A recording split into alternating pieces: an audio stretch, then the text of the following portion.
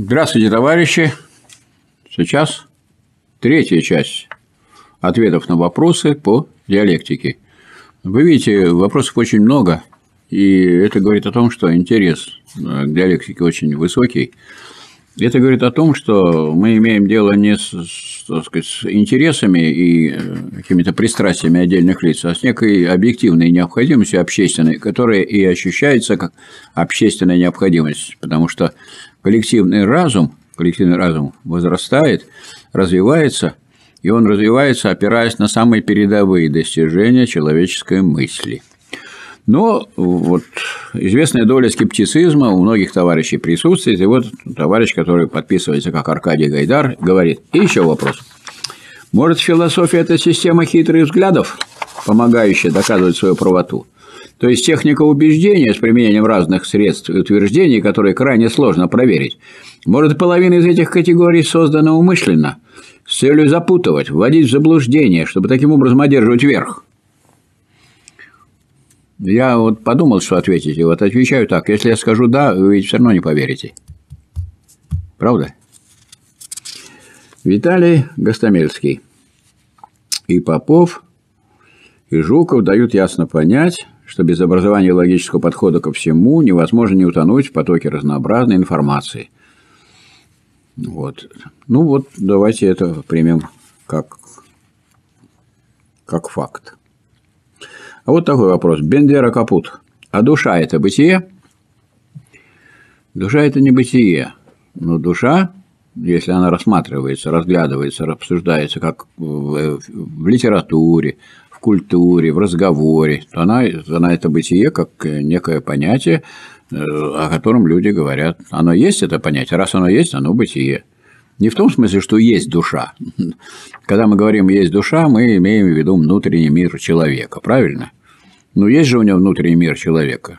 Ясно, что это внутренний мир не в кишках и не в желудке. Это все в человеческой голове, потому что управляет всем внутренним миром и, собственно говоря, человеческий мозг. Но когда мы говорим о том, есть ли внутренний мир, конечно, есть не только внешнее проявление человека, но есть его внутреннее проявление.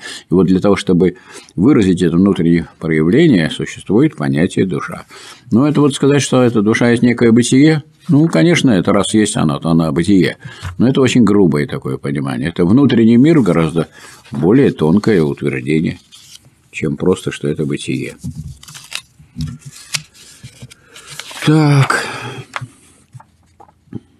Полгода назад приступил к изучению диалектики. Использовал сайт и YouTube-канал Фонд рабочей академии. Григорий Тараскин пишет. И в частности, лекция Михаила Васильевича и науку логики Гегеля, издание 70-го года. Так как неплохо владея немецким языком, поинтересовался и попробовал почитать в оригинале. Разница огромна. В интернете нашел переведенное издание 29 -го года. И вот оно как раз, за редким исключением, является прямым переводом. Хотелось бы узнать, почему об этом издании Михаил Васильевич ни разу не упомянул. Я прослушал почти все его лекции, выложенные на YouTube. Спасибо.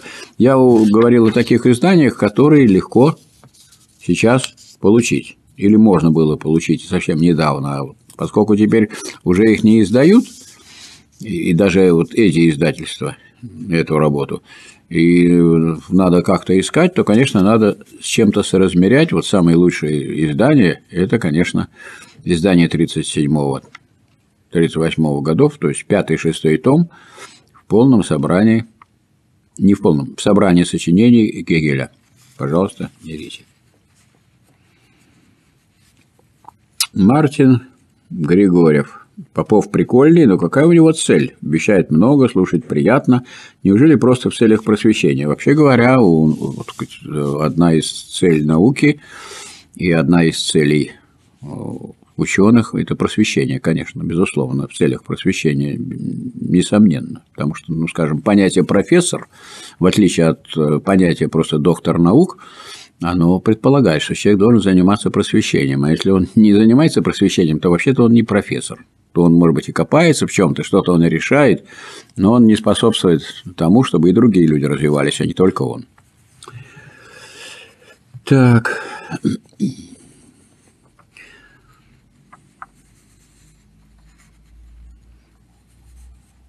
Интересно, является ли логика, это B1337 Транк, интересно, является ли логика обсуждения примера с равен ли ты самому себе лингвистической аналогией дифференциального вычисления в математике?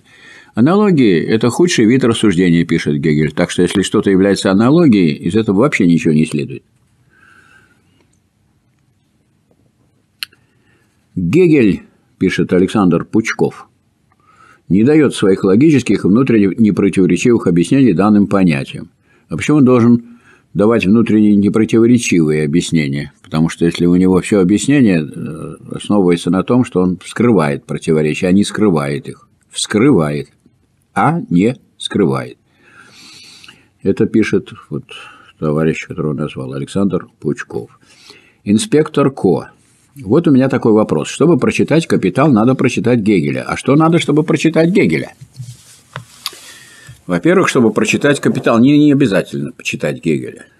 Значит, давайте будем точно следовать рекомендациям тех людей, которые сделали и первое, и второе. Вот у Ленина сказано в его конспекте «Науки логики» нельзя вполне понять капитала Маркса, не поняв и не проштудировав всей логики Гегеля, поэтому никто из марксистов не понял Маркса и полвека спустя.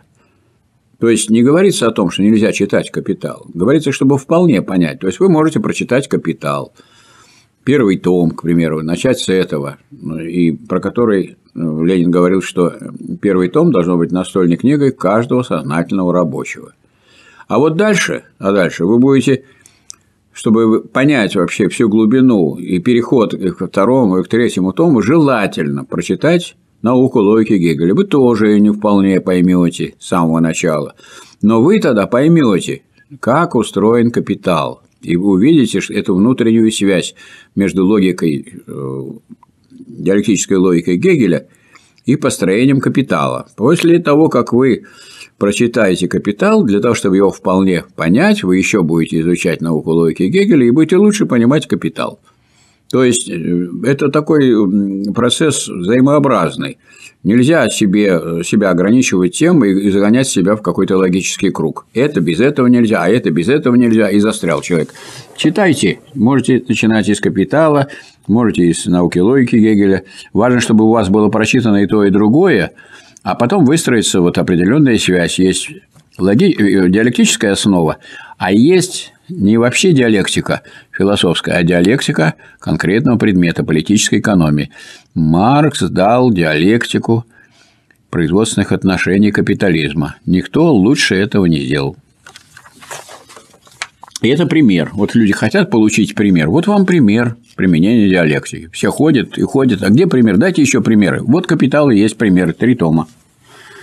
Не путать с четвертым томом, так называемым. Иногда его называют четвертым томом «Капитала». Это три книги теории прибавочной стоимости. Это то, что Маркс вначале написал, и то, что он э, делал в связи с изучением предшествующих экономических концепций. Это, по существу, рецензирование и критика этих всех концепций. Он все предшествующие концепции изучил, мало-мальски заметные, и это представлено в виде таких трех книг, которые теперь иногда называют четвертым томом «Капитал». Четвертым они никак не могут быть, потому что они предшествуют вообще всей работе над капиталом. А капиталу еще предшествуют две огромные рукописи экономическо-философские, которые сначала написал Маркс, прежде чем приступить к диалектической обработке полученного материала и к написанию непосредственно капитала. Есть ли работы западных экономистов, возможно, закрытые, объясняющие неизбежность победы коммунизма? Ну, какая-то странная вещь. Вот если человек один раз сделал открытие Маркс, то уже никто не может присвоить его, ни, ни, ни Энгельс там, ни ну, Энгельс его соавтор, так сказать. Ну, хорошо, вот они вместе это неизбежность коммунизма доказали. Ну, Ленин-то ведь не, не считал своей заслугой, что он неизбежность коммунизма доказал. Он просто на это уже опирался. И надо дальше идти, а не сидеть и доказывать 22 или 23 раз неизбежность победы коммунизма. Она неизбежна, конечно, но этого не освобождает от борьбы за этот самый коммунизм, а от и организации рабочего класса в партию или для организации политической борьбы за те цели, которые вытекают из экономических интересов рабочего класса.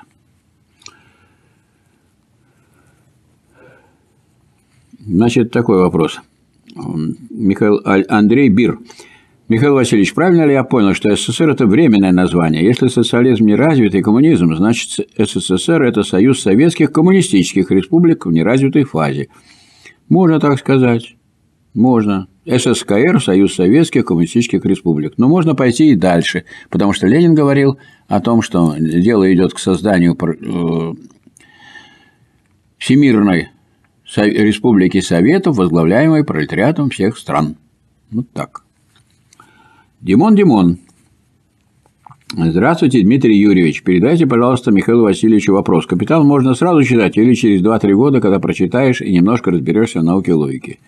Если вы прочитаете «Капитал», он вам поможет разбираться в науке логики. Если вы прочтете науку логики, это позволит вам разбираться глубже в «Капитале». Поэтому можете и так читать, и так читать. Важно, чтобы в итоге у вас было и то, и другое прочитано, и тогда у вас вот появится, с одной стороны, метод диалектический, а с другой стороны, вот это блестящее и высоконаучное его применение. Вот, вот то, что позволит вам не гадать, и вопросы задавать, а для себя иметь ответы и в смысле значения метода, и в смысле э, применения этого метода. Тем более, что метод вот не просто определяется у Гегеля. Метод есть, осознание, метод есть осознание формы внутреннего самодвижения содержания изучаемого предмета. Вот не сразу это схватишь. Осознание формы внутреннего содержания содержания. Значит, речь идет о содержании, во-первых.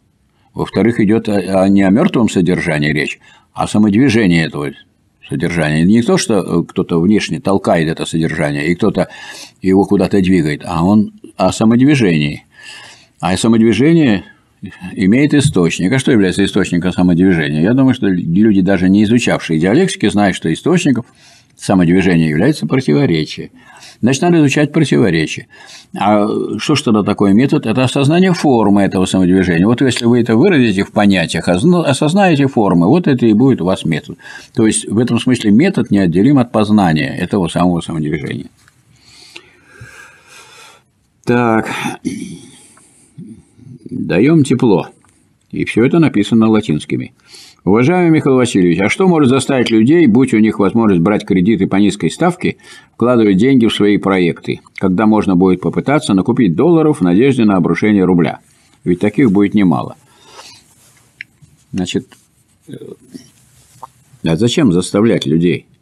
Вы дайте возможность людям, которые хотят развивать экономику, хотя бы даже капиталистам, которые организовывают капиталистические предприятия, дайте им возможность создавать и развивать производство, а не губить его и не уничтожать, потому что их, им перекрыли все возможности для этого э, и э, оставили, так скажем, один путь. Они занимаются как раз вот этими самыми спекуляциями и пытаются накупить долларов в надежде на обрушение рубля.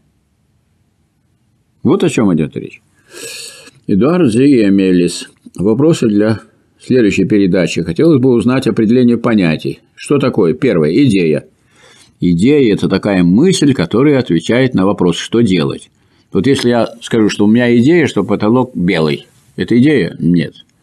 А вот идея, что надо, надо изучить науку логики, тогда вы станете диалектиком, это идея. Труд. Второй вопрос. Труд – это целесообразная деятельность по созданию материальных благ. Более развернутое определение Маркс давал такое. Это обмен веществ между человеком и природой, в ходе которого человек приспособляет вещество природы для удовлетворения своих потребностей. Вот определение труда. Деньги. Деньги – это товар-эквивалент. То есть, это не что-то отдельное от товара. Это товар, но товар особого рода, который обладает свойством всеобщей обмениваемости. И деньги поэтому были разные. Например, шкурки песцов и других пушных зверьков были в России товарами, которые выполняли функцию денег, или мельничные жернова. Потом серебро, от которого отрубали кусочки. Вот рубль и есть остаток такой исторический. Остаток – это, он говорит о том, что вот орубили серебро. Вот этот рубль – это был кусок серебра, который выполнял функцию денег и так далее. Время – это одна из форм существования материи. А какая? А такая, которая берет не, не протяженность в пространстве, а берет последовательность. Это такая характеристика, которая э, показывает изменения, которая которая связана с изменением, форма изменения материи. А чем, а также чем определяется качество? Только количеством? Качество не количеством определяется. Качество определяется как определенно взятое, изолировано сама по себе. А количество в известных пределах может э, не затрагивать это качество, но за известными пределами, то есть вот э, увеличивается, увеличится количество, меняется и качество. А вот итоговая формула количество плюс упорядоченность равно качество неверна. Откуда такая взяла эта формула, я не знаю.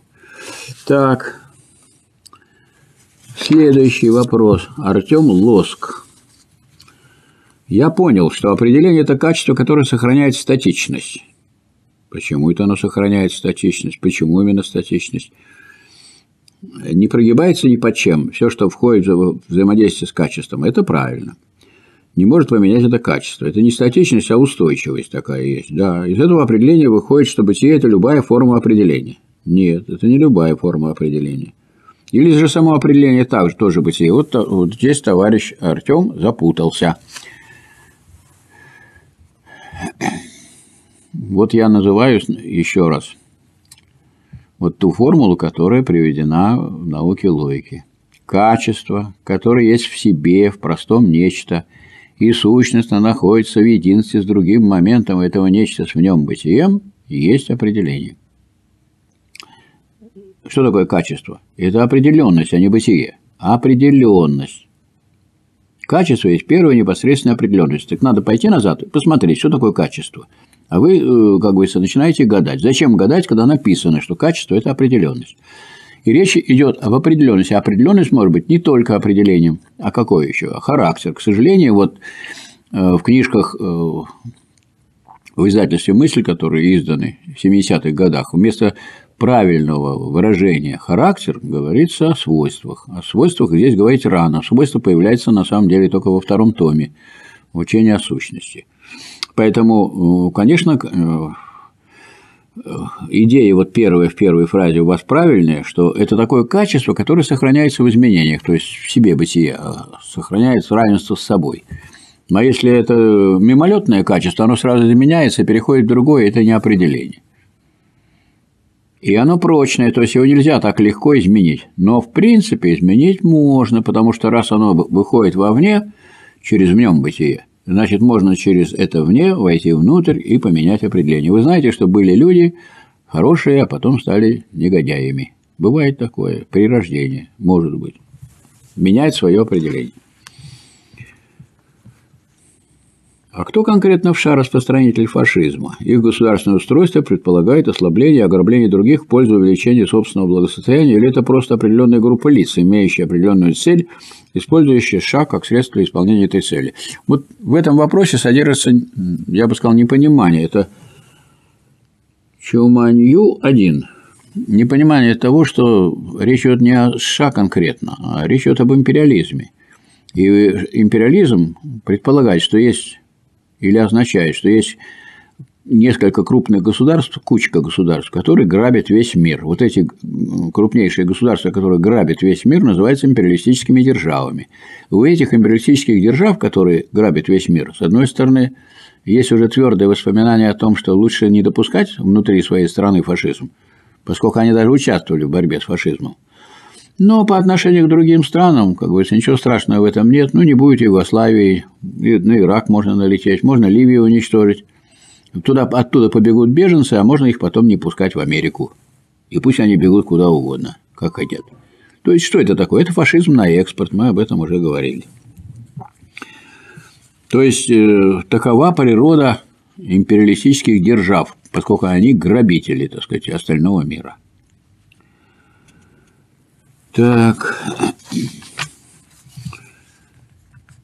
А что с точки зрения диалектики придет на смену коммунизму? Спрашивает товарищ Ваттер.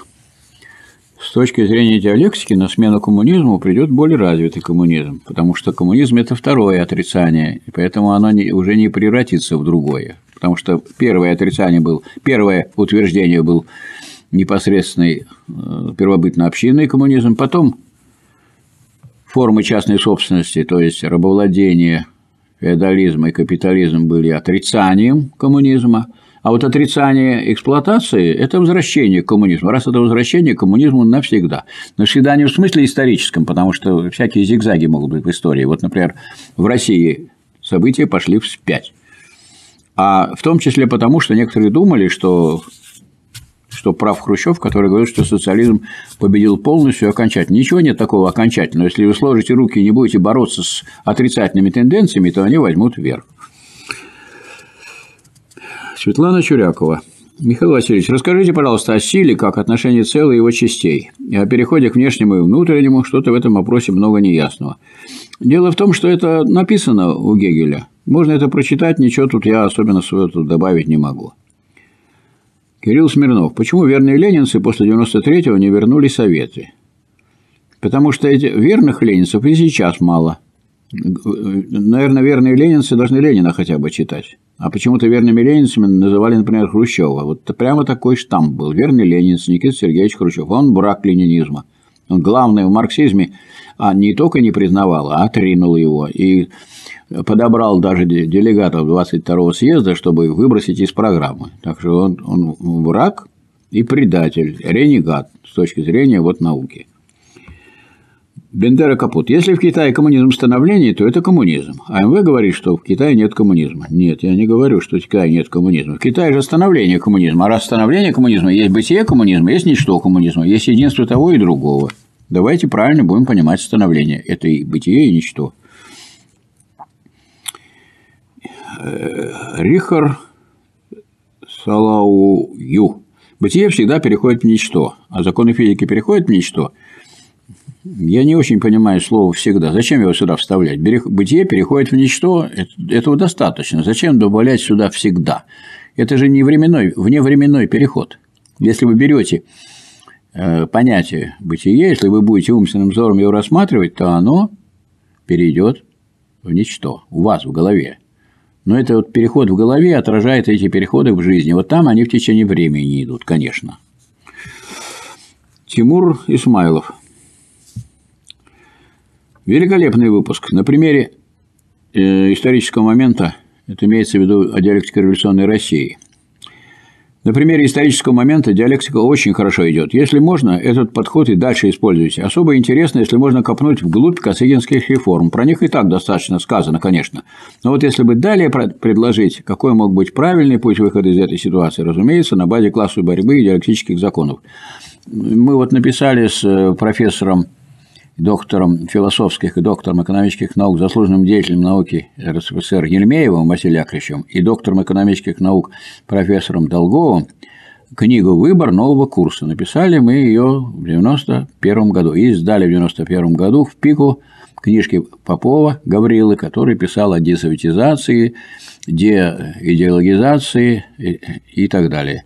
И вот э, в этой книге говорится о том, что является альтернативой вот этому движению к рынку и развитию товарности, которое приводит к капитализму. Ну, если коротко говорить, то движение состоит в переходе от стоимости к потребительной стоимости. О том, что сущность социализма, как первая фаза коммунизма, уже не товарная, и поэтому нельзя критерии товарной здесь применять. Ну и я уже тоже называл статью от закона стоимости к закону потребительной стоимости свою, э, которая висит на сайте Московского отделения Фонда рабочей академии, где говорится о том, что летом 1965 года как бы э, изображена дискуссия. Три человека в «Правде» выступили, э, Лев Абрамович Леонтьев, так, член-корреспондент Академии наук, который выступил за прибыль. А у нас до этого было снижение себестоимости главными показателями, которое обеспечивало действительно научно-технический прогресс, рост производительности труда, экономию, а не погоню за сказать, э, ростом цен. Кулагин потом, директор завода имени Свердлова, дескать, даешь прибыль. Или Берман Харьковский. После этого э, После этого прошла реформа, так называемая Косыгинская, то есть пленум был сентябрьский 1965 года, который перевернул нашу экономику, который во главу угла поставить прибыль. С этого времени начинается бурный рост цен, и постепенное уничтожение всего того, что составляло целую систему экономии труда и, так сказать, пошла погоня за дутым валом, за дутый объемом реализации, дутой прибылью и так далее. Значит, и этот вот путь, в конце концов, в своем развитии и привел к капитализму. Евгений Арс. Как что-то может переходить в ничто? Может быть, не ничто, а нечто? Нет, не нечто, потому что нечто – это бытие, а ничто – это именно ничто, то есть, то есть отрицание. Вот меня однажды спросили в издательстве, а что такое отрицание? Я так сразу не мог найти. Потом покопался у, у Гегеля и выяснил, что отрицание – это не или ничто, или ничто, или просто не. Поэтому переход идет бытия в противоположность, в ничто. А нечто – это не противоположность, это определенное наличное бытие. То есть, как-то даже странно. Вот у Гегеля показано, что во что переходит. И переходы эти все правильные, а вместо того, чтобы проследить эти переходы, мы начинаем выдумывать и придумывать. Это так не делается в науке.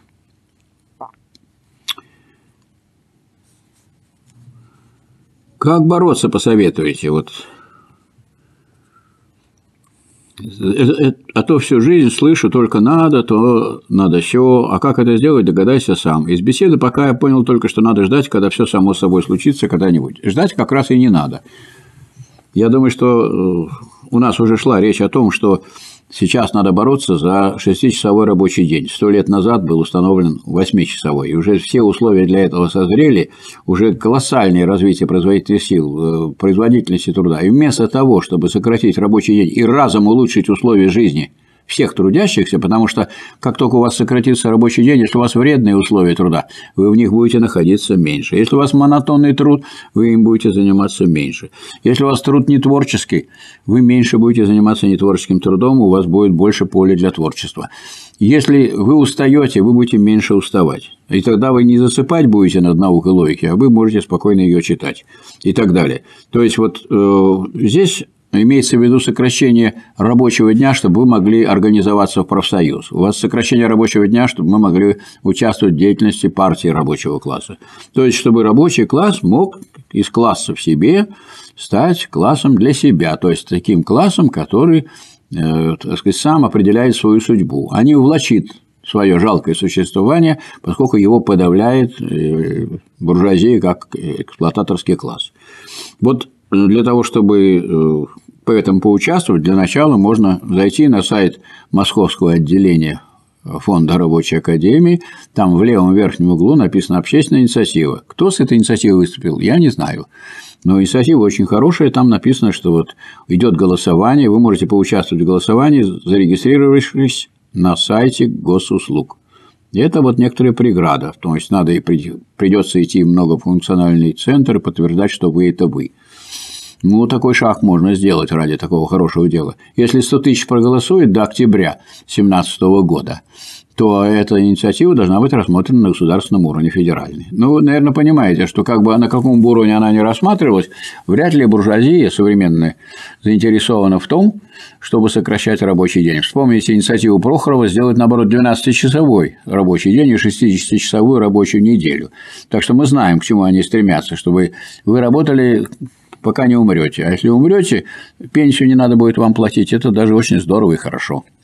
Поэтому и собирается передвинуть, в том числе и Кудрин, и другие э, певцы рыночного раньше социализма, а потом капитализма а из э, высшей школы экономики хотят обязательно передвинуть пенсию, увеличить ее, чтобы люди умирали раньше, чем они будут получать пенсию. Это, это будет давать колоссальную экономию средств. И вообще э, все будущее нашей экономики, оказывается, зависит от того, чтобы э, заставить работать пенсионеров до того времени, пока они не умрут. И тогда, э, значит, до этого времени пенсию им не платить. Это раз. Второе. Значит, есть вот деятельность фонда рабочей академии, пожалуйста, вы в ней можете участвовать. А именно, в каких формах? Ну, во-первых, э, изучать э, соответствующую науку. То есть, есть вот Красный университет фонда рабочей академии. Пожалуйста, заходите на len.ru или на Красное ТВ, записывайтесь в Красный университет, занимайтесь, изучайте три источника, три составных части марксизма. Далее, есть Рабочая партия России, пожалуйста, в Народной правде, которая, если у вас нет в бумажном виде, вы можете найти ее на сайте Фонда рабочей академии, на э, этой газете есть перечень телефонов, куда обращаться для того, чтобы вступить в рабочую партию России. Пожалуйста, это общественное объединение, вы можете в этом участвовать. Поэтому вовсе не из беседы не следует, что надо ждать, когда все само собой случится когда-нибудь. Но вы поставили вопрос, я вам на него отвечаю. Так, при всем уважении к ведущим, но возвышает Сталина тот, кто не пострадал при его правлении. Я думаю, что Сталин не из таких людей, которых нужно особо возвышать, потому что возвышать нужно каких-то мелких людей. Сталин и так велик, и поэтому будете вы его возвышать, не будете вы его возвышать, ничего подобного. Здесь, правда, вот вы рассуждаете, что за неучтенные колоски, найденные у колхозников, можно было получить до 10 лет лагерей. Ну, я сам родился в деревне, мой двоюродный брат там работал в совхозе, инвалидность получил. Вот, при этом он э, украл однажды два мешка пшеницы. И он не дали ему 10 лет лагерей, он отсидел два года.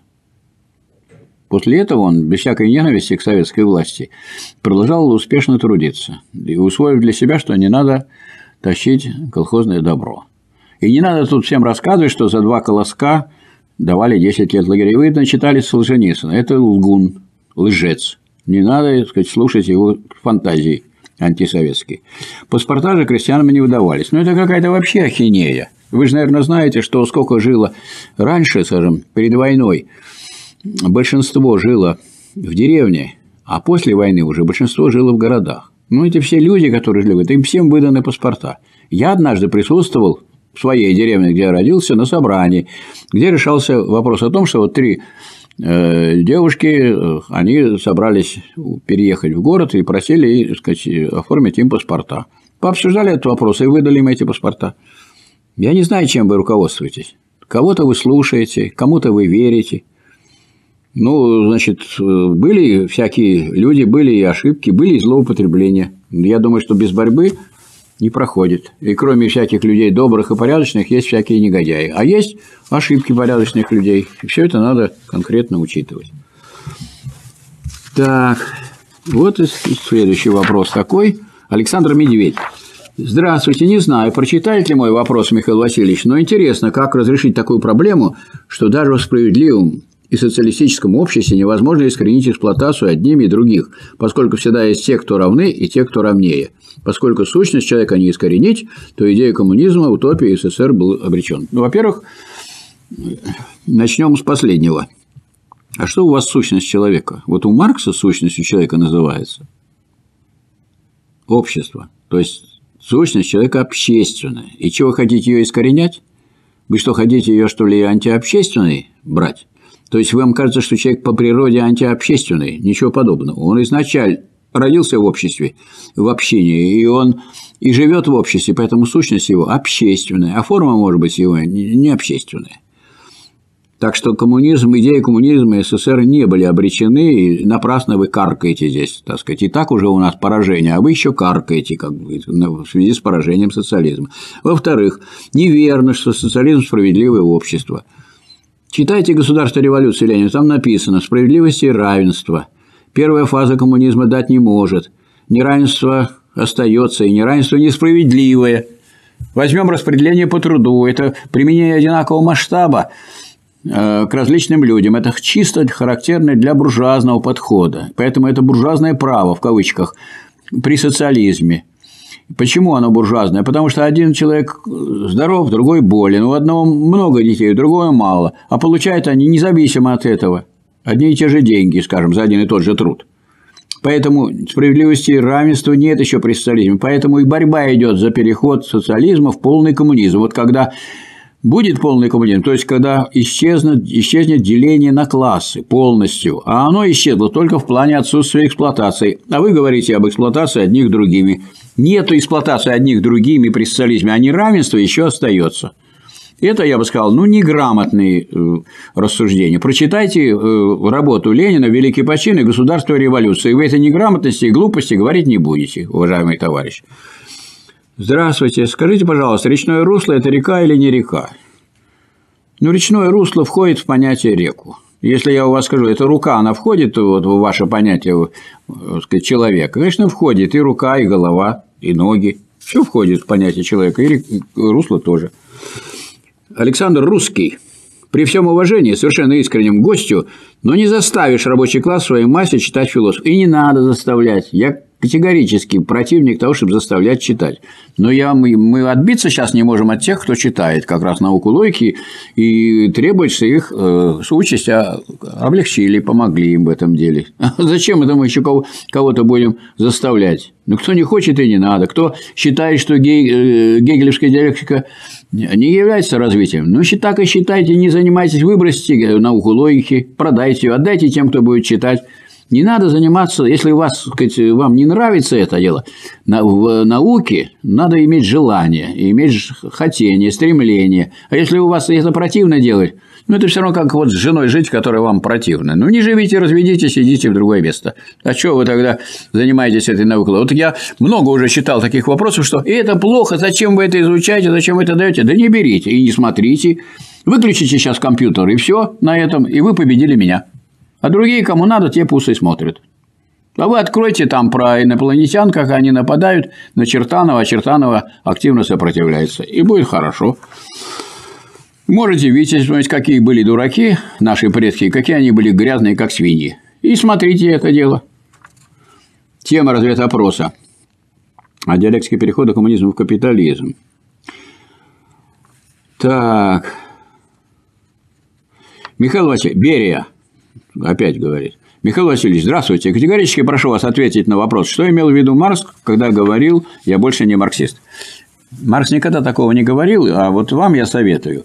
Если вы хотите что-то, так сказать, сослаться, что Маркс говорил, Энгельс говорил, вы всегда это проверяйте. Потому что в литературе люди настолько не точно, особенно потому, что они не привыкли к точным формулировкам, не могут запомнить фразы, и у них в голове все время переворачивается, как только они пытаются излагать, я вам скажу, что говорил Маркс. Маркс говорил, что если вот он о всяких людях, которые клянутся, что они марксисты, а извращают его учение. Вот он говорит, что если это марксисты, то я тогда не марксист. Вот что он говорил. А, а вы написали, я больше не марксист. Что он отказался от марксизма, что ли? Ну, что вы говорите? Так, Зверпанк, комрады, посоветуйте. Статьи или книги о борьбе с противоречиями. Ну, вы даете. Как это бороться с противоречиями? Ну, как можно бороться с противоречиями, если противоречия, они со, сущности есть, в сущности, все противоречиво, с ними бороться бесполезно. А вот если речь идет об общественных противоречиях, надо определить, на какой стороне в этой борьбе вы находитесь. Не выскочить из противоречий, а занять правильную позицию. Вы за фашизм или против фашизма? Вы за трудящихся или за капиталистов? Вы за жуликов и тунеядцев, или за людей труда. Вот надо тут что сказать, сделать, а вы собираетесь бороться с противоречием. Что с ними делать при коммунизме? Да никто вас не спрашивает, что с ними делать, потому что они существуют объективно, и делать с ними ничего не надо. А их надо, а все противоречия разрешаются, и вы можете участвовать в этом разрешении противоречий. Вот у меня целая книга написана на тему планомерное разрешение противоречий, развития социализма как первой фазы коммунизма. Вот там написано, так сказать, вот то, что нужно делать с противоречиями, как вы говорите. Почитайте и узнаете. Я понимаю, что необходимо удержать форму при наличии противоречий, но если пойдет тенденция их накопления, я не понимаю, что такое накопление противоречий. Накопить можно деньги, а вот а противоречия могут обостряться. Например, если у нас с вами сейчас идет словесный спор, но он сейчас он неравноправный, потому что я вот тут у микрофона и меня показывают, а вы вот только можете написать в комментариях. Поэтому в этом споре вы тут проигрываете, конечно. Получается так. Но из-за условий этого этого противоречия. Но в принципе, в принципе, если речь идет о борьбе противоположностей, вот обмен мнениями – это спор. Спор – это разногласие. Я глашу одно, а вы гласите другое. Но если это вот э, различие мнений переходит уже, противоречие переходит из э, спора, то есть из различных утверждений совсем к другим формам, от аргументов силы к силе, от силы и аргументов к аргументам силы, и мы начинаем кидаться утюгами друг в друга, ну, это называется тогда конфликт. У нас конфликта с вами нет. А у нас с вами есть попытка совместно э, разобраться в довольно сложном таком предмете, как диалектика. Я думаю, что мы здесь с вами не антиподы, а союзники, и мы немножко по-разному к этому подходим. Вот. Но еще неизвестно, может, вы к моему возрасту будете гораздо лучше понимать диалектику, чем я. Я э, вам это желаю. Ее мод. Если по Марксу изменение способа производства неизменно вызывает смену всего общественного строя, то какая смена способа производства случилась в 17 году в октябре?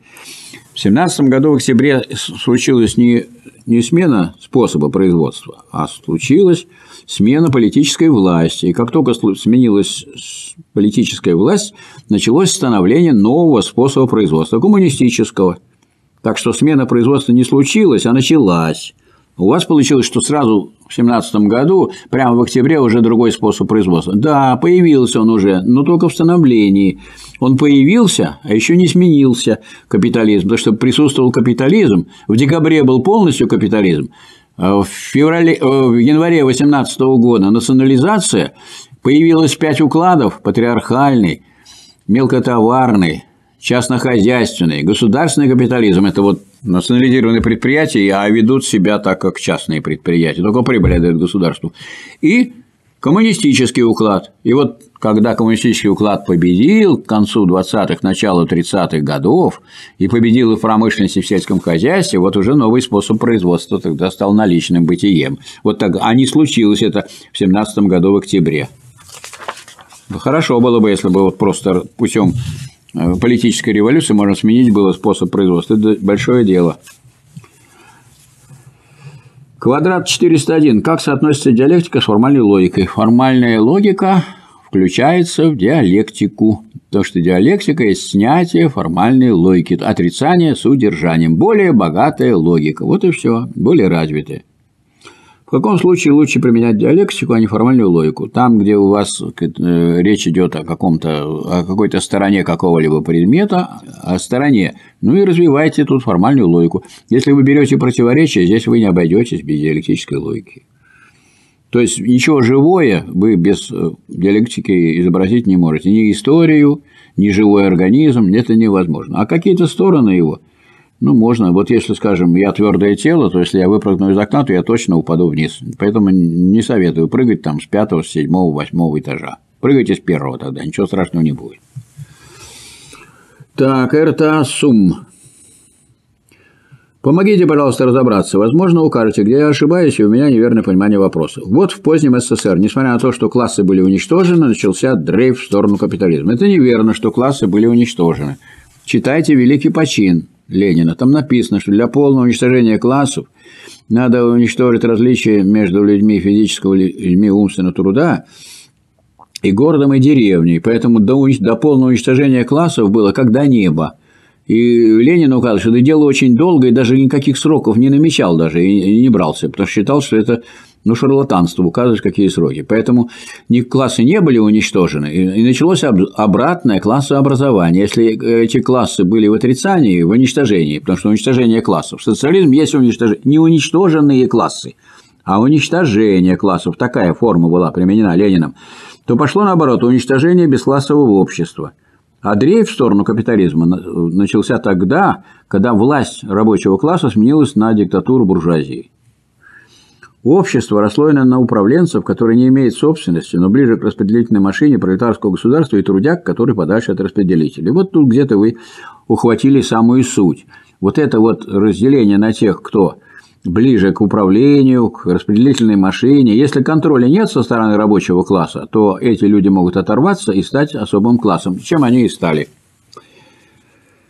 Так, и как правильно объяснять происходящие процессы. Первые инициировали процессы, приближающие нас к светлому капиталистическому будущему. Но почему вы светлое пишете без кавычек? Я думаю, это в темном они вас.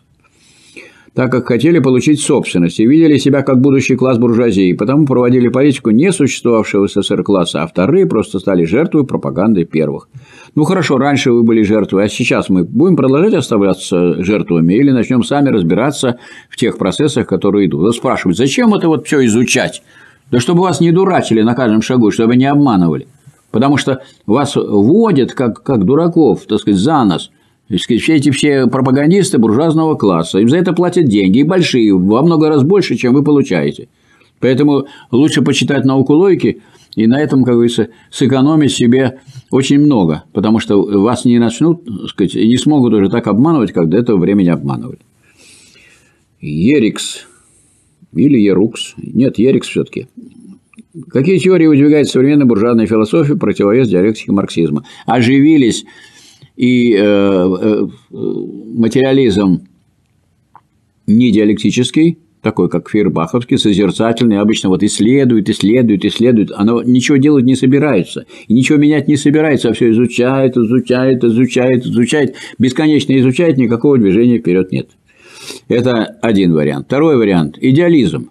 Что вот идеи, там есть вот три вида бытия, вот бытие, так сказать, как материальное, потом, значит, бытие вот в головное, и еще какой-то вид там бытия, и трансцендентное. Ну, как бы стыдно им говорить о Боге. Ну, они вместо Бога говорят трансцендентное, или высший дух, или высшие силы и так далее. Отсюда и связь с религией, то есть у нас какой-то ренессанс. Казалось бы, если буржуазный строй, то надо отделить церковь от государства, школу от церкви, а у нас идет обратный процесс. У нас более реакционный строй, чем во Франции был период Великой французской буржуазной революции. У нас эти самые духовники, они просто заполонили все. Ну, пожалуйста, у нас всегда религия была частным делом. Да веруйте, кого хотите. Только не мешайте, так сказать, строительству лучшей жизни для других людей. Нет, давайте нам все, будем все загребать и будем все излагать с позицией той или иной религии. Отсюда драка, так сказать, представителей разных религий. И государство будут раздирать в связи с этим. Так. Ну, есть еще и субъективный идеализм.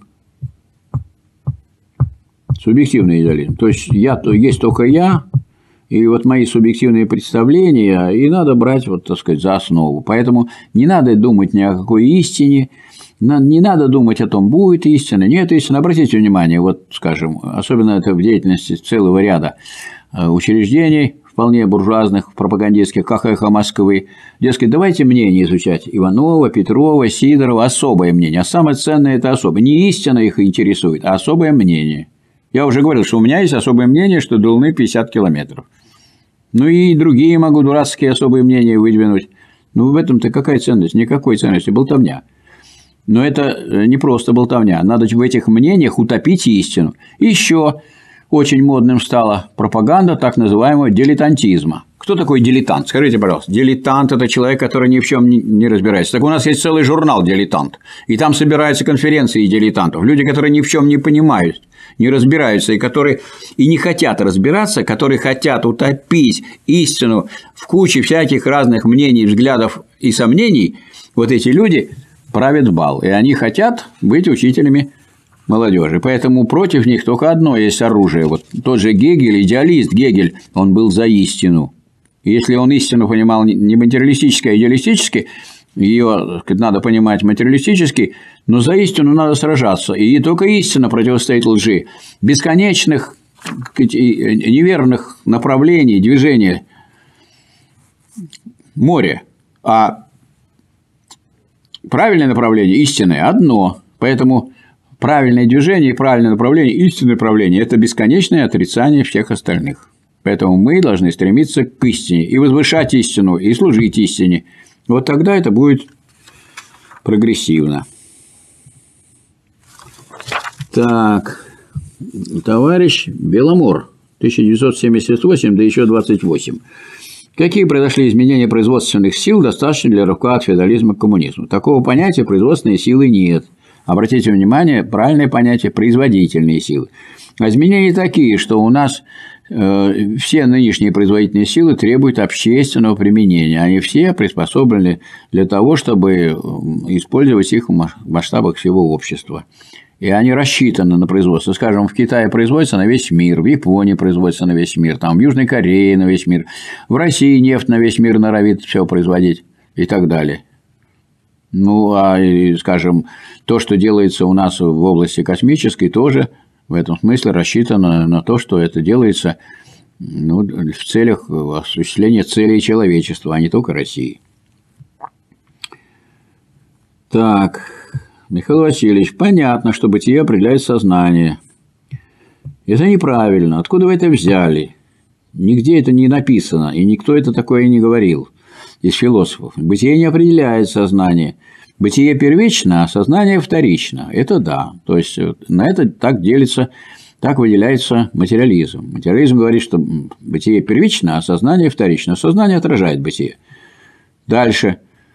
Есть идеализм, который говорит, что идея первична, а бытие вторично. Вот это одно деление. А по отношению к истории есть такой тезис, он правильный. Общественное бытие определяет общественное сознание. Общественное бытие. А вы взяли, что бытие? Это что, это какую колбасу я съел, такое у меня и сознание, что ли? Или я мало колбасы съел, у меня сознание стало пролетарское. Больше колбасы съел, у меня сознание стало буржуазное. Это глупости. Бытие не определяет сознание. Бытие декабристов было, было вполне феодальное, а они выступали за освобождение кого? за освобождение крепостных крестьян. Они выражали интересы э, крестьян, народа трудового. И интересы буржуазии тоже выражали. Не будучи буржуа. А Энгельсов чьи интересы выражал? Какое у него было бытие? Папа у него был капиталист. Сам он стал капиталистом, когда папа умер. Так что, его бытие определяло его сознание? Ну, это глупости. Его сознание определяло его бытие, а его бытие было бытие вождя рабочего класса всего мира. Неверно это, товарищ Славрн. Есть ли в капитализме какие-то ростки коммунизма? Конечно, есть. У нас столько бесплатного, например, уже по скайпу можно бесплатно разговаривать. Это и ростки коммунизма. Так, WhatsApp тоже позволяет разговаривать бесплатно, а, наверное, еще заодно за нами и следить еще. То есть есть, конечно, ростки коммунизма, но они сочетаются, раз они в капитализме, они сочетаются с чем-нибудь другим. Много есть и понижение цен вы наблюдаете, например, в области всякого рода компьютерной техники, одновременно с ростом цен. Но это как бы другие уже виды. Вот. Э, общественный характер производства – это сам не только росток коммунизма, это вообще основа. Сейчас обострилось противоречие между общественным характером производства и частно-капиталистической формой присвоения.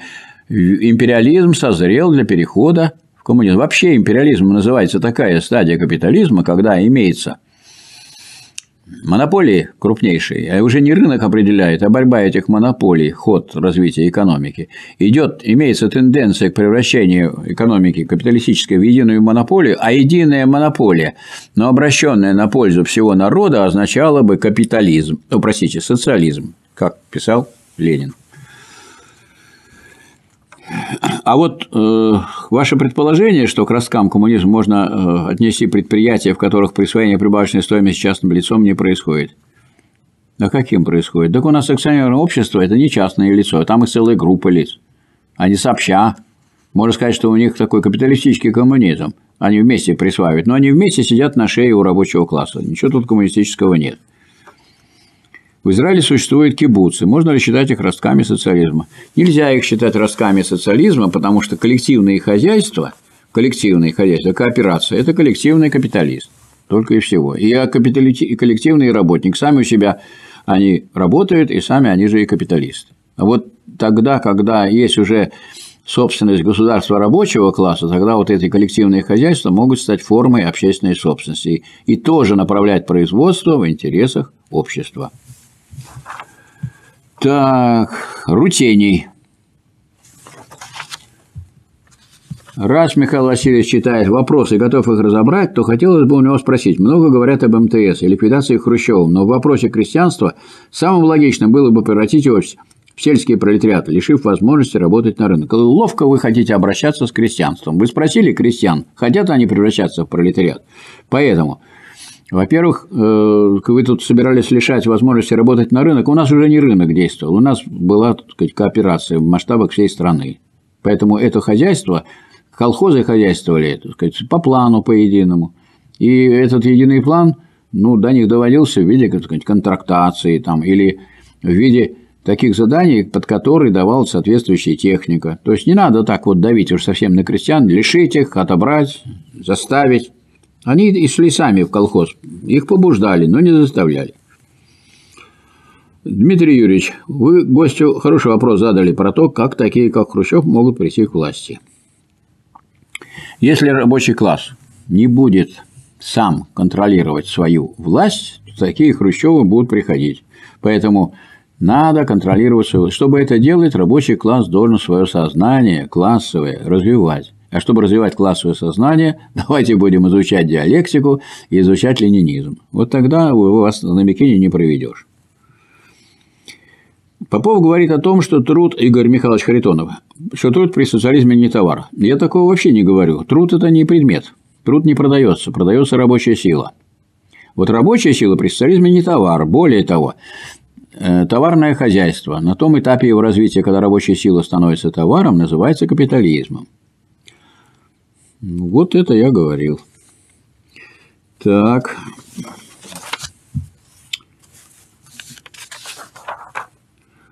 Феовлад. При социализме нет антагонистических классов. Не согласен. Ну, не согласны, не согласны. Я не, вот, а кто-то не согласен, что дважды два – четыре. Что такое антагонистические классы? Это классы, интересы которых противоположны. А у рабочего класса и крестьянства колхозного не противоположные интересы, есть различия в интересах. А вот противоположность здесь можно понимать так. Если крестьянство во главу угла поставить свои интересы, то есть будет бороться за приоритет интересов крестьянства, а рабочий класс будет бороться за приоритет интересов рабочего класса, то вот при такой постановке вот эти две позиции, они являются антагонистами, они противоположны. Поэтому приоритет интересов рабочего класса должен быть всеобщим и для рабочего класса, и для крестьянства, и для интеллигенции. Если интеллигенция не хочет служить рабочему классу, она не социалистическая интеллигенция, а буржуазная. Хотя бы она сидела в социалистических, как говорится, кабинетах, и даже наверху развиваются красные флаги. Фаиль Валиев. Господин Михаил Васильевич, такой вопрос. Как происходит переход чистого бытия на наличное бытие? Ну, это вот я бы сказал абракадабра. Ну, нет такого перехода чистого бытия на наличное бытие. Ну, нет такого перехода вообще. Нет такого. Переход чистого бытия переходит в чистое ничто. И все. Больше чистое бытие ни во что не переходит. А дальше, вот дальше мы двигаемся, и дальше доходим уже до наличного бытия. Если очень кратко излагать этот путь, он такой. Чистое бытие переходит в чистое ничто, а чистое ничто в бытие, а бытие в ничто, ничто в бытие, значит, нет отдельно ничто, нет отдельно бытия, есть движение исчезновения бытия в ничто, и ничто в бытии. Становление это. Называем это становлением. В становлении есть два момента, то есть неразрывно связанные друг с другом противоположные движения. Переход бытия в ничто – это прихождение, переход ничто в бытие – это возникновение. Возникновение и прихождение – вот моменты становления. Но возникновение – это ничто, переходящее в бытие, а прихождение – это бытие, переходящее в ничто. Значит, они в становлении и бытие, и ничто исчезают, а значит, исчезает и само становление. Значит, становление себя отрицает. Вот отрицание становления является снятием. Оно не, не растаптывается, не исчезает, не испаряется, а оно теперь превращается в наличное бытие. Наличное бытие – есть результат снятия становления. Вот мы и пришли к наличному бытию. Если это хотели вы получить, вот тогда я вам это написал. Но вы пишете, Гегель какую-то ахинею нес, я ничего не понял. Я могу только сказать, что вы никакую ахинею не несли, а все поняли. А вот на диалектическом языке, я думаю, каждый разберется, что это означает. А. Ч. Михаил Васильевич, огромное спасибо за ваше наставление, а за сердце и манеру, с которой вы это делаете, вдвойне. Михаил Васильевич, если вы тут читаете, объясните, пожалуйста, бытие, ничто, ничто, бытие – это диалектический буддизм получается? Да не получается буддизм, буддизм вообще ни при чем. Дело в том, что и в религии, в разных религиях так или иначе эти моменты тоже находят свое отражение, потому что религия – это одна из форм постижения мира. Евпатий Дубинин. Здравствуйте, Дмитрий Юрьевич. Задаю вам и прошу по возможности адресовать Михаилу Васильевичу следующие вопросы. Первое. Являются ли современные профсоюзы той организованной силой, которая реально представляет интересы рабочего класса, каковой они являлись на рубеже 19-20 веков? Возможно ли, в принципе, другая форма организации рабочего класса? Ну, вот применительно к живому организму, вы понимаете, есть мозг, а есть легкие, есть желудок, есть пищеварительный тракт. То есть, если вы берете классовую борьбу, то вы не должны сводить эту вот классовую борьбу к деятельности только какой-то, каких-то одних видов организации. Например, профсоюзы – это первые, самые первые шаги или самый нижний уровень организации рабочего класса. В профсоюз люди э, соединяются для ведения экономической борьбы. Это вот, так сказать, объединение. Еще в «Нищете философии» Маркс писал, что первое, за что начинают бороться рабочие за свою, рабо... за свою зарплату. А потом они понимают, что мы свою зарплату увеличить не можем, если мы не э, объединимся в профсоюз. И вот объединение по профессиям, то есть по профессиональные союзы, это вот то объединение, которое потом рабочий класс ценит выше, чем борьбу за зарплату, потому что если он объединится в профсоюз, он добьется повышения зарплаты, а будет бороться за зарплату в одиночку или порознь, не объединившись в профсоюз, не добьется. Но если он будет бороться только вот за свои экономические требования, за повышение зарплаты, то есть за цену своей рабочей силы, за ее повышение этой цены, то он будет все время находиться в эксплуататорском обществе, а ему нужно ликвидировать саму продажу рабочей силы, чтобы он был хозяином страны и никому свою рабочую силу не продавал, а свободно ее использовал в интересах развития всех. Поэтому нужно уничтожить саму эту продажу. Это невозможно сделать без партии рабочего класса. Поэтому профсоюз профсоюзом, но нужно создавать партию рабочего класса. Партия рабочего класса в становлении имеет место в России, но она не создана. Потому что если бы она была создана, у нас движение совсем по-другому шло. Но надо в этом участвовать. Идите в партию рабочего класса, пожалуйста, вот сказать, читайте, сказать, смотрите, идите в рабочую партию России, мы вас приглашаем, пожалуйста. Так, Второе. В преддверии революции 20 века бытовала фраза «призрак бродит по Европе», признак коммунизма.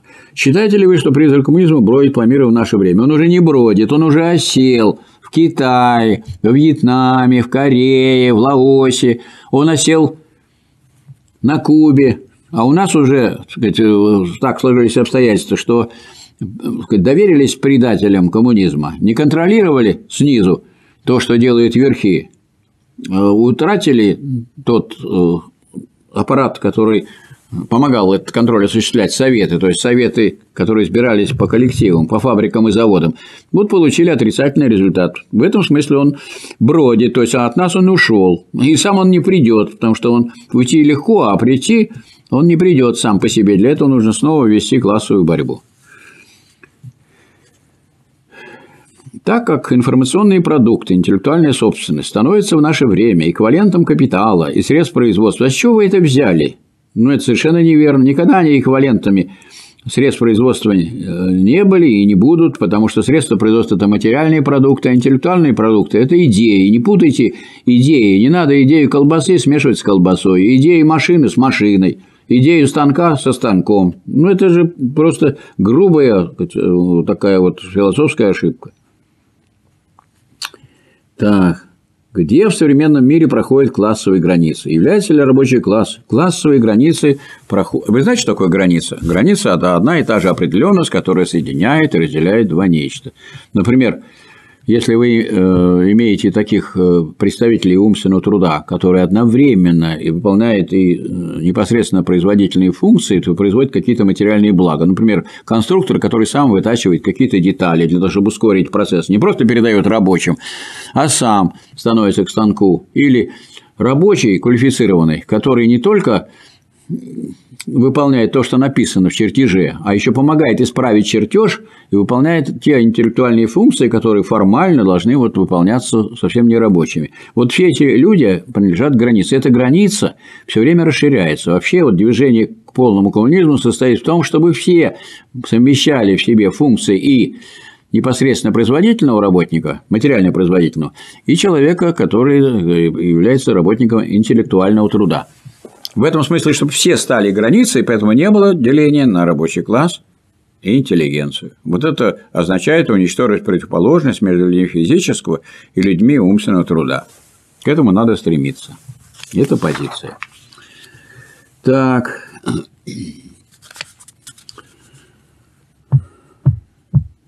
Какие современные страны, тот же товарищ спрашивает, товарищ Дубинин, вы видите наиболее перспективными для перехода фазу коммунизма? Наиболее перспективной для перехода в фазу коммунизма сейчас является Северная Корея, потому что никто ближе нее, а он находится, во-первых, в фазе коммунизма, но фаза первая, а, а не просто коммунизм не фаза, а в коммунизме есть две фазы: нижняя фаза и верхняя фаза. Неразвитый коммунизм, то есть социализм, и полный коммунизм, то есть вот вторая фаза. Так, Выражаю благодарность вам и всему коллективу Тупичка за просветительский труд. Здоровья вам и благополучия. Я думаю, что я могу то же самое пожелать и всем тем, кто взялся изучать такое нелегкое дело. Эдуард Александрович, коммунизм – это утопия. Но если вы все знаете, зачем вы сюда пишете? Ну, а я э, Эдуард Александрович, скажу, а то, что вы написали, просто чепуха. Он недостижим для человека в его теперешнем виде. Кто теперешний вид? Коммунизм в теперешнем виде или человек в теперешнем виде? Вы сначала сформулируйте хорошо. В СССР был социализм, от каждого по способности, каждому по труду. Не попали в точку, потому что у вас получается социализм такой, что от каждого чего-то берут по способности. Чего у него по способности берут? Неправильно формулируете. Социализм означает, каждый по способностям сам должен человек работать, сам, не из-под палки, по, из потребности труда на благо общества. Каждый по способностям, каждому по труду. А у вас от каждого по способности. Следите за словами. Коммунизм же заявлял от каждого по способности, каждому по потребности. Не заявлял этого никогда коммунизм. Коммунизм состоит в том, чтобы каждый трудился по способностям, а получал его по потребности. А дальше? А где граница этой потребности? Что значит граница? По потребности не о границах идет речь. Тому надо больше давать, у кого потребность больше. Если у вас семья 10 человек, а у меня один, вам надо дать в 10 раз больше. Что тут непонятного? А сколько у вас продуктов? Сколько есть? Сколько произвели? Вот их разделите так, чтобы больше получил тот, у кого больше семья. А сейчас у нас разделяются материальные блага так, что у кого и так, значит, и э, машины, и пароходы, и и банки, и предприятия, вот им все, так сказать, достается в основном, а остальным огрызки. По 5 тысяч давали пенсионерам, это одно какое-то. Целой думе, решали, какое мероприятие, 5 тысяч, чтобы сэкономить, чтобы не дать индексацию. В этом за прошлый год. Так, Илья Князев, но по-иностранному написано, наверное, на русском не выразить. Гость говорит о том, что сейчас будет использовать чисто формально-логический подход, который является частью общенаучной группы методов. А дальше в своем рассуждении использует диалектику, которая входит в группу философских. Я не понимаю, что это за общенаучная группа методов. Это вы тут придумали такое деление.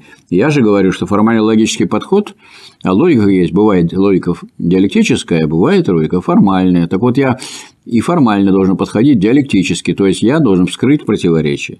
Вот и все. Так, Феолат. Приветствую. Справедливо ли мое суждение относительно средств производства человечеством изобретены только, как, только капитализм?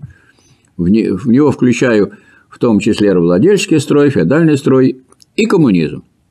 Ну, правильно, да. Всего есть два типа общества. Либо коммунизм, то есть строй, основанный на общественной собственности. Это либо первобытный общинный коммунизм, либо коммунизм, который является отрицанием отрицания, то есть отрицанием частнособственнического строя. Или Частнособственнический строй, рабовладельческий строй, феодальный строй и капитализм. Да, это правильно. Мирелес Канф. С трудами Сергея Георгиевича Карамурзы знакомы. Как-то совсем расходится Михаил Васильевич Попов. Да, расходится. Как только я э, увидел, что Сергей Георгиевич Карамурзы решил, что он выше Маркса, мне стало неинтересно его читать. И я больше его не читаю.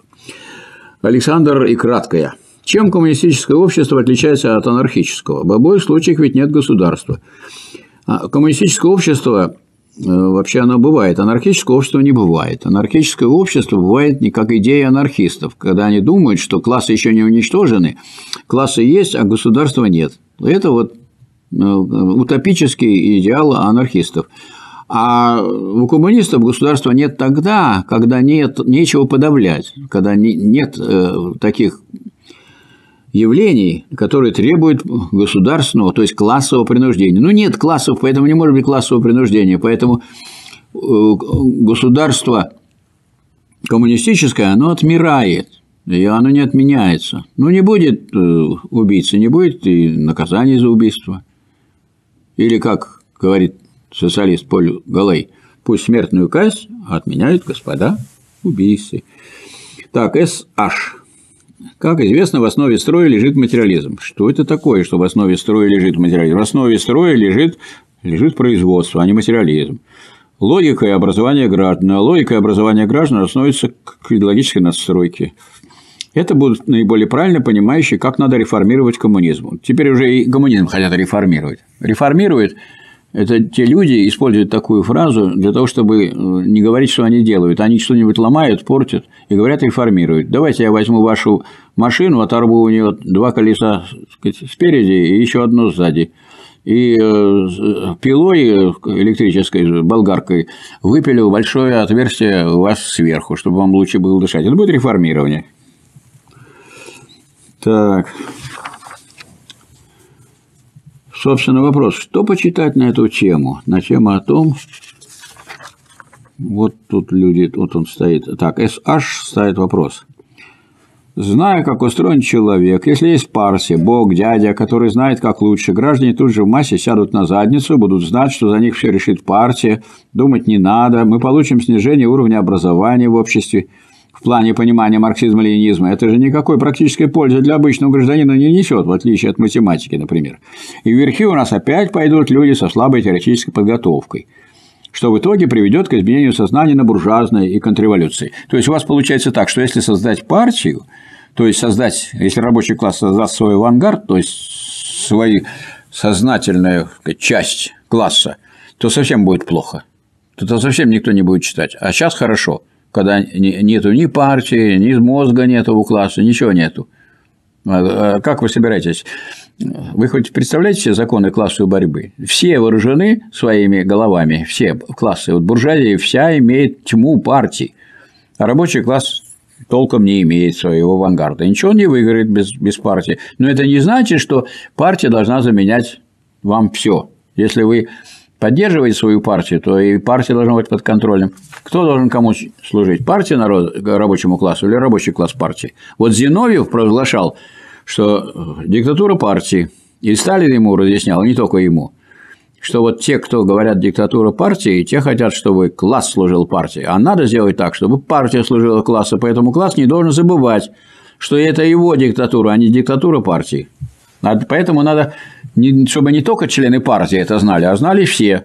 А, а не были какие-то жрецы, которые всех заменяют.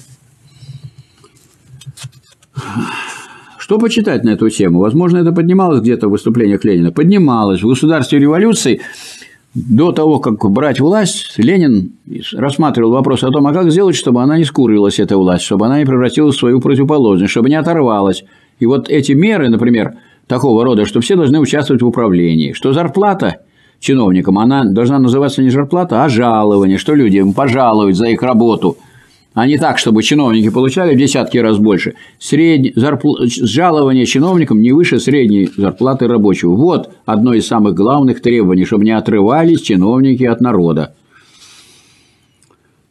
Вопрос профессору Попову. Есть такая работа Эвальд Ильенков «Диалектическая логика». Что он может сказать об этой книге? Могу сказать, что диалектическая логика дана в работе Гегеля «Наука логики». А у Ильенкова есть его рассуждения хорошие, очень интересные, полезные. И я рекомендую их тоже, можно почитать с интересом.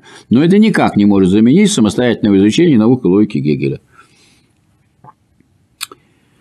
Михаил Сопин. Каким образом предлагается бороться, минуя этап революции? Здорово вы так придумали.